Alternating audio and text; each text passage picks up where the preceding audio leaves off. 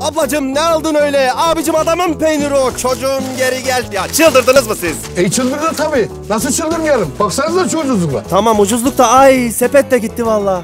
Burası çıldırmış. E burası çıldır. Aa burası çıldırmış. Ardahan çıldırmış. Ardahan Çıldır'dan Edirne Keşan'a 9000 marketiyle A101 artık Türkiye'nin her ilçesinde.